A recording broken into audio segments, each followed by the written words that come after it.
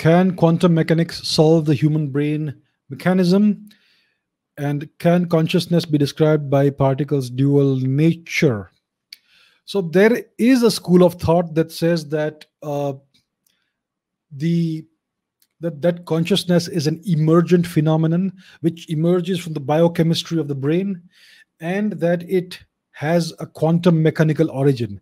So it is quantum processes inside the brain that give rise to an emergent phenomenon called consciousness.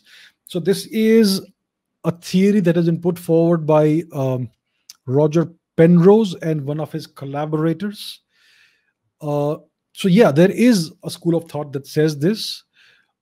It is not proven thus far. It is interesting, but we don't know whether it is true or not. Is consciousness so is uh, so quantum mechanics may possibly have a role to play in the human brain mechanism. Essentially, the entire reality as we see it emerges from the laws of quantum mechanics.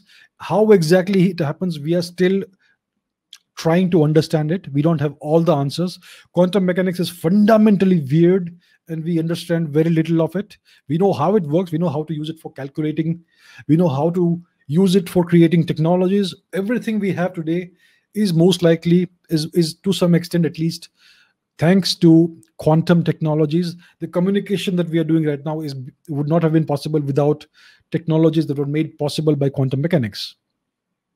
So we know how to use it but we don't know what it is what it what it is saying to us okay the second question is can consciousness be described by particles dual nature we don't know we don't even know what consciousness is we don't even have a definition of consciousness. It is the biggest mystery in science right now. Until now, it has been thought of as a spiritual or philosophical concept, but now it has become front, it has come front and center in science.